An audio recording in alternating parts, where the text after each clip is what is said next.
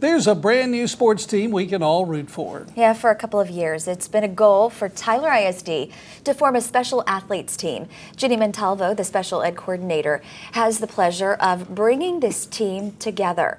The Heroes, as they call themselves, are a group of athletes with intellectual disabilities. As you can see, that does not stop them from playing.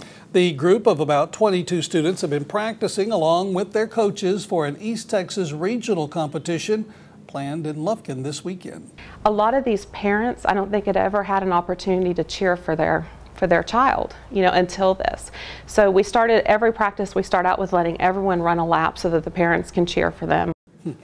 Montalvo brings her son, who also has an intellectual disability, to practices to help out. And she says she's noticed nothing but positive things come from forming the group. The regional competition, as we mentioned, is in Lufkin this Friday and Saturday at Abe Martin Stadium.